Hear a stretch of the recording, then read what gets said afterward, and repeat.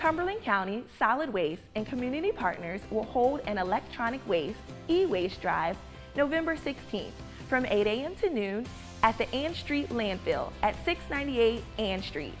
Residents can bring in electronic waste such as old televisions, computers, stereos, computer monitors, and other electronics. There will be giveaways and landfill tours at 9, 10, and 11 a.m. So come out and learn about the county's landfill as a part of America's Recycles Day.